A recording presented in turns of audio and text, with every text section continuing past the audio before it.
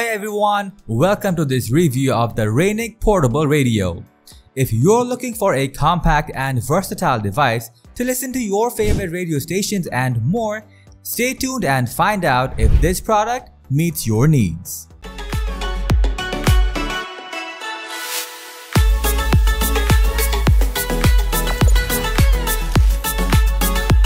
First off, let's take a look at the design and build quality of the Raynic radio. As you can see, it has a retro look with a black leatherette finish and silver accents.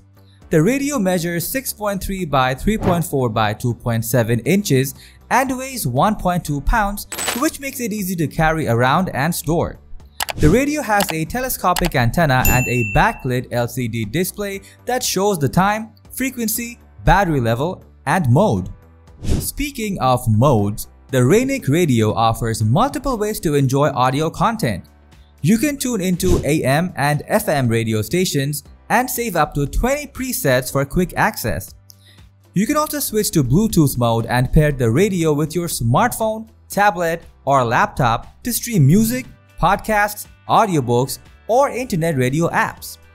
The radio has a built-in microphone that allows you to take hands-free calls and use voice assistants like Siri or Google Assistant. Additionally, the radio has a TF card slot and a USB port that enables you to play MP3 files from external devices. Let's talk about the sound quality and performance of the Raynic radio. Overall, I find the sound to be clear, balanced, and sufficiently loud for a small speaker. The radio has a mono speaker that delivers 3 watts of power which is not super powerful but adequate for personal listening or background music. The radio has a headphone jack and a volume knob that allow you to adjust the sound to your liking. The radio is powered by a rechargeable 2200 mAh lithium-ion battery that can last up to 15 hours on a single charge depending on the usage.